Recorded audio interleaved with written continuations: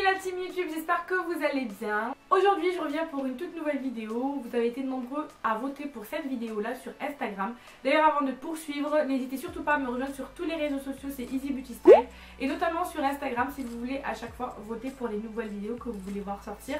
Mais je vous fais aussi euh, des petits sondages pour d'autres choses dans la vie, des petits dilemmes dans la vie ou pas. Ça m'apprend aussi à vous connaître. Donc voilà, n'hésitez surtout pas à me rejoindre. Sur Snapchat c'est Camille EBS et sur tous les autres réseaux sociaux c'est Easy Beauty Style. Je vous mets les liens en barre d'infos.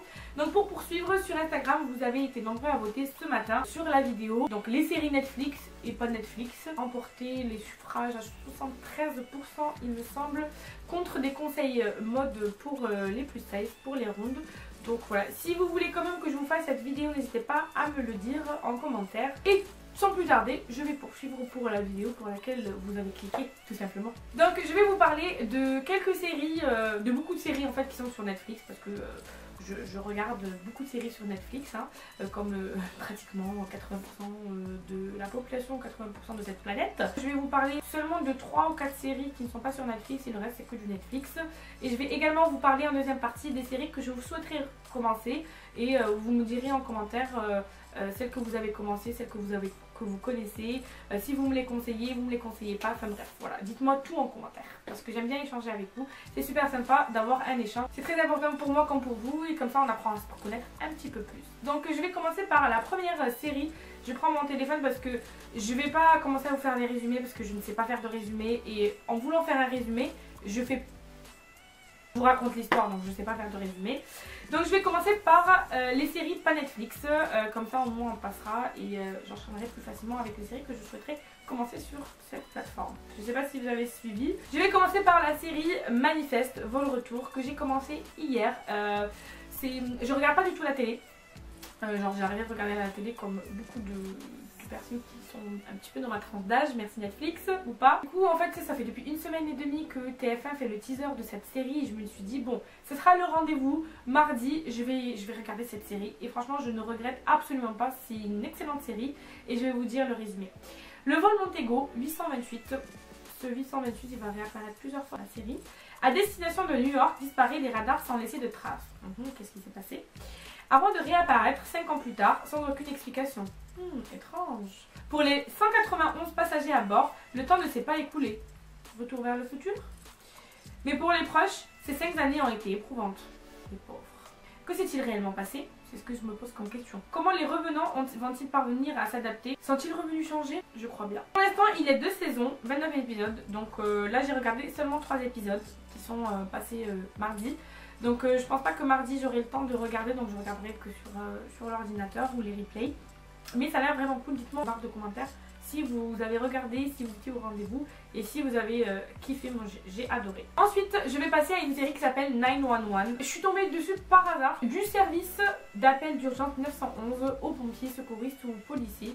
Tous ces intervenants sont constamment sous pression confrontés quotidiennement à des situations stupéfiantes, effrayantes et parfois même choquantes. S'ils ont pour mission de voler au secours des personnes en danger, ces héros de l'ombre doivent aussi trouver le temps de résoudre les problèmes de leur propre vie. Il y a trois saisons apparemment pour l'instant et 41 épisodes. Donc c'est une série que j'ai découverte à la télé en fait et j'ai adoré en plus il y a ma, mon actrice préférée c'est Jennifer Love Hewitt celle qui joue dans Ghost Whisperer et euh, franchement euh, c'est cool c'est vraiment cool il y a un beau gosse aussi qui joue dedans donc euh, que demande le peuple, le, peuple Que demande le peuple? Je vais vous parler d'une série qui est une série euh, turque. C'est une série euh, que je regarde depuis quelques mois, depuis cet été en fait. Ça s'appelle Arkenchi Kush. Ça fait euh, depuis deux ans que je suis obsédée par les séries turques. Il faut savoir petite question culturelle. Il faut savoir que les séries turques sont les séries les plus regardées dans le monde. Oui, oui, moi aussi je croyais que c'était les Américains, mais pas du tout. Euh, non, c'est plus les plus exportés au monde. Rapport aux cultures, il euh, n'y a pas de bisous, euh, enfin si, il y en a pour certains, mais ça va pas au-delà parce qu'en fait par exemple chez les Hindous, euh, les Indiens plutôt, donc du coup euh, pays en sport, ils sont consommateurs de ces séries là. J'adore les séries turques, c'est vrai qu'il y en a certaines qui sont un petit peu exagérées mais c'est euh, qui fait leur charme en fait et, franchement elle est vraiment cool. Alkenchikush ça veut dire early bird. Je crois qu'il y a un nom d'oiseau qui s'appelle comme ça ou en tout cas c'est oiseau du matin si je vous fais la la traduction. Oula, même pour le synopsis, le synopsis il est long. Sanem, en gros, hein, Sanem est une jeune femme qui rêve de devenir écrivain et d'aller jusqu'aux îles Galapagos afin de pouvoir observer les albatros. Elle travaille dans l'épicerie de son père car elle n'a pas réussi à garder un emploi fixe ailleurs pour l'instant. Un beau jour, ses parents lui donnent le choix de se remettre à chercher du travail, soit de se marier. Entre autres, avec un voisin pot de colle qui voudrait l'épouser. Décide donc de postuler dans l'agence de pub où, travaille, sa sœur Leila. Elle est embauchée comme assistante touche-trou, Muskina, censée faire des, des photocopies, servir le café et le thé. Elle se fait néanmoins vite remarquer par le patron de l'agence Aziz et l'un de ses fils, Emre, pour ses aptitudes à se souvenir de plein de détails et pour ses réparties. En même temps, arrive aussi dans l'agence l'autre fils de Aziz, Jan, reporter photographe. Aziz a des problèmes de santé et demande à Jan de le remplacer à la tête de l'agence le temps qu'il se repose et se soigne. Il lui explique qu'il ne fait pas confiance à Emre à cause de ses liens avec son ex-femme et il a raison. Aileen, et j'adore ce prénom, Aileen, vient de créer sa propre agence de pub et tente par tous les moyens de piquer leurs idées et leurs clients. C'est tout ce petit monde qui va interagir et dès leur rencontre, son attirance très forte s'installe entre Jan et Saddam. Voilà, c'est une, série euh, franchement familiale, assez drôle, assez comique. Il y a plein de, personnages autour. C'est un peu comme Game of Thrones dans le sens où euh, euh, il y a au taquet de personnages, donc tu dois en te présenter personnages et tout. C'est génial, mais ça, n'est pas tout du même registre que Game of Thrones. On est d'accord, hein, c'est genre loin de là. Elle est vraiment cool, Et vous savez que depuis deux ans, je regarde des séries turques et, j'adore ça. Et c'est avec ça que j'apprends des petits mots. Je sais pas parler turc, hein, mais je connais beaucoup de, mots de politesse, des petits mots comme ça, et, voilà. Et j'ai envie d'apprendre le turc. En parlant de séries turques, du coup, il y a une série turque qui a été mise sur Netflix. Elle s'appelle The Protector, The Protector. C'est une série, mais oh là là, elle démonte, elle démonte vraiment. Elle est vraiment géniale, elle est super bien faite. Moi je la regarde en voix originale, parce que j'ai l'habitude de regarder les séries turques en voix originale.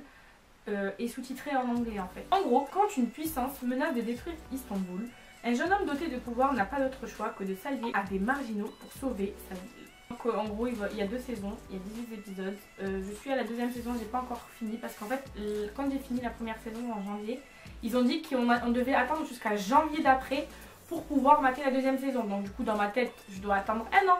Sauf que là j'ai découvert qu'ils ont sorti en fait la deuxième saison il y a un mois ou un mois et demi voire deux.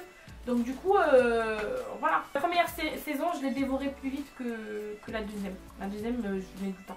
Mais elle est géniale ça vous ramène un petit peu, euh, bah, vous découvrez déjà une autre série euh, qui sort un peu euh, de ce qu'on a l'habitude de voir. Déjà, ça se déroule à Istanbul. C'est une histoire qui, nous prend en fait, c'est un petit peu avec le truc de talisman. Le protecteur, en fait, c'est un élu qui va protéger Istanbul. Il va y avoir gens qui sont pas gentils. Et c'est vraiment fantastique, action, pas mal, pas mal, pas mal. Ensuite, série Netflix, Dynasty. Est-ce qu'on en parle? Cette série, elle est géniale. Dirais-moi, mais genre mon pire moi, tu vois. Il ressemble en, rien, déjà physiquement, et, j'ai pas son argent, ça c'est clair. Et, euh, je il y a des traits de caractère que je, retrouve un petit peu, et ça pourrait être vraiment moi entière, vraiment. Caviar, bijoux et robes de grands couturiers font partie du quotidien des dynasties, des riches clans de Carrington et Colby. Le mania du pétrole Blake Carrington est à la tête de la Denver Carrington ENC et d'une fortune estimée à 200 millions de dollars. Oh my god. Installé dans le Colorado, il possède la plus grande propriété de l'État ainsi que l'équipe de football. Marié à Christelle Jennings, son ancienne secrétaire, il doit faire avec le retour de son ex-femme Alexis Carrington. Alors elle, qu'est-ce qu'elle est drôle Elle est drôle mais euh, pas drôle, tu vois. Avec laquelle il a eu 4 enfants. Adam, Fallon, Steven et Amanda. Et en décidant d'épouser un membre de la famille, Colby ennemi Carrington, Alexis ne fait qu'attiser les tensions. La personne, comme je vous dis là, au pire moi, c'est Fallon en fait. J'ai l'impression que ça tourne plus autour d'elle que le reste euh, de la famille en fait. Parce qu'elle fait, elle, fait beaucoup de choses en fait dans cette série et, euh, trop Fallon. On peut penser qu'elle est peste, qu'elle est mauvaise, mais euh, sur certains points, elle est... Même sur la plupart des points, j'ai l'impression qu'elle est juste en fait. Sauf envers elle-même. Mais ça, vous découvrirez quand vous découvrirez la série. Franchement, on devrait payer par Netflix euh, pour promouvoir des séries comme ça. Hein. Et en plus, on ne vous spoil pas parce qu'on aurait pu vous spoiler. Hein. Vraiment. Hein. Euh, en parlant de Netflix, je vais juste vous parler du film que j'ai regardé avec Rebel Wilson, Isn't It Romantic? Il est tellement, mais tellement drôle Mais franchement, mais je l'aime trop cette fille. Elle a de l'autodérision, mais c'est un truc de malade. Moi, ça me fait tellement rire. Et en plus, euh, y a le frère de mon chéri, Liam Hemsworth, euh, que je... Là, je vais passer aux séries en fait que j'aimerais commencer en fait. Donc il y en a plusieurs, il y en a quatre. Et la série qui s'appelle Suits.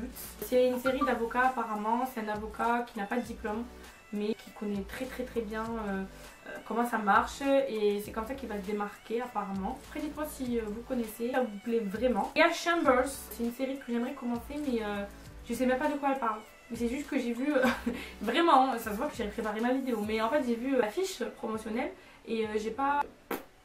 Je sais pas. Après il y a aussi les nouvelles aventures de Sabrina. J'ai commencé à regarder le premier épisode. Ça fait un petit peu... ça fait un petit peu peur mais c'est pas... Voilà. Et j'aimerais continuer l'épisode parce qu'il y a trop de séries que je regarde vous-même, vous savez. Là, je vous ai fait une petite sélection. Et il y a aussi la série The Order. Donc en fait, c'est une histoire de société secrète qui se trouve dans le lycée d'une personne, d'un jeune homme. Et en fait, il souhaiterait se venger du meurtre de sa mère. Et euh, il va intégrer cette société secrète. Et je crois que le meurtrier, il se trouve dans cette société secrète. Il me semble. Hein, en tout cas, j'en ai fini avec cette vidéo. J'espère qu'elle vous aura plu. N'hésitez surtout pas à partager vos découvertes du moment, vos séries Netflix ou pas Netflix. Moi j'adore découvrir de nouvelles séries. Euh, Isn't It Romantic? C'est un film, ce n'est pas une série bien évidemment mais je voulais vous le partager quand même. Euh, n'hésitez surtout pas à me rejoindre sur les réseaux sociaux, je le répète, c'est là où je suis la plus active. Pardon, c'est là où je vous pose des questions. J'aime beaucoup être en interaction avec vous. N'hésitez surtout pas à me dire quelles sont vos séries du moment et quelles sont celles que vous me conseillez euh, de commencer. Je vous fais de très gros bisous et je vous dis à très bientôt. Et euh, voilà, je... Rejoignez-moi. Je vous attends. Hello, my friends, I am waiting for you. pratique aussi, vous inquiétez pas. Bisous